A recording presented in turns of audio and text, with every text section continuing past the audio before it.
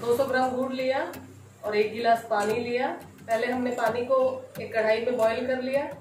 फिर पानी बॉईल होने के बाद में हमने इसमें गुड़ डाल दिया और इसको मिनिमम 10 मिनट के लिए हमने इसको चाशनी होने के लिए पकने के लिए दिया। कढ़ाई में हमने दो चम्मच घी डाला। फिर हमने आटा और घी को मिक्स करके 10 मिनट के लिए छोड़ दिया था। उसको चलनी से छान के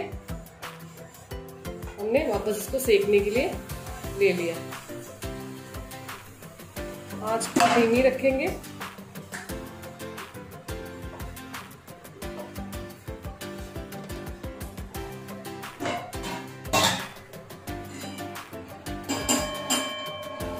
फिर इसको धीरे धीरे धीरे धीरे हल्का ब्राउन होने तक सेकेंगे। ये गोल्डन ब्राउन हो गया है, इसे हमने 10 से 12 मिनट तक सेका है। चाशनी में हमें, हमने इलायची पाउडर डाल दिया है। चाशनी हमारी तैयार।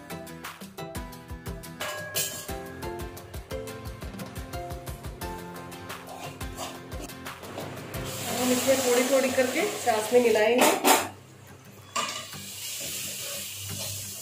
और इसके साथ ही ड्राई फ्रूट्स कटे हुए हैं, वो डाल देंगे। इसको अच्छे से मिक्स करना है, जब तक कि अच्छे से मिक्स नहीं हो।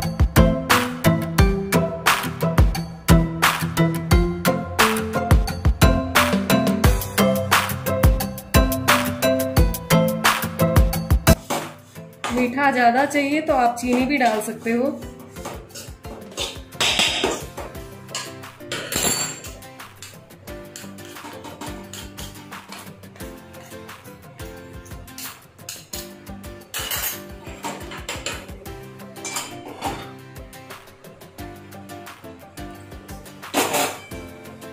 चाशनी ज़्यादा नहीं डाल दें, ये ध्यान रखें आप।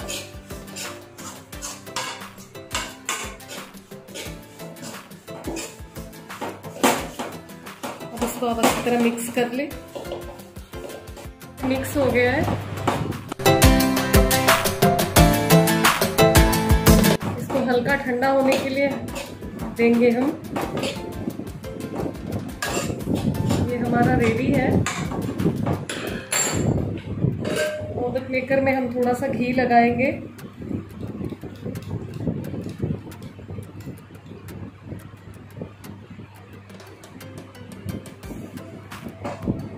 ये हमारा ठंडा हो रहा है धीरे धीरे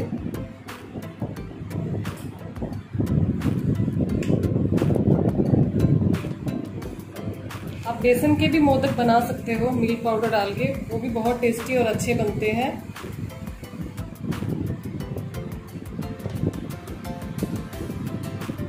अच्छे से प्रेस करके इसको अच्छे से दबा के। ये गुड़ के और आटे के मोदक हो गए।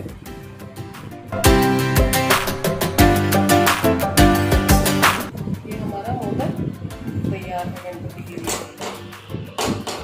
गणेश जी को गुड़ बहुत पसंद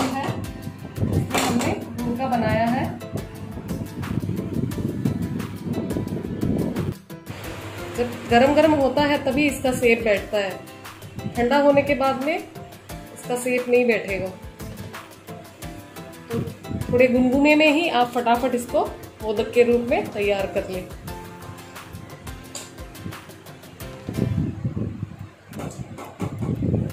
मोदक मेकर हमें आसानी से मार्केट में मिल जाता है। प्लास्टिक का, एल्युमिनियम का, ले सकते हो।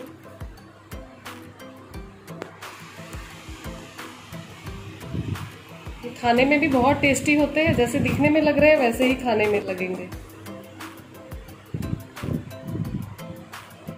मोदक बन के तैयार हो गए हैं। आप इसको लड्डू जैसे भी बना सकते हो और मोदक के जैसे भी बना सकते हो।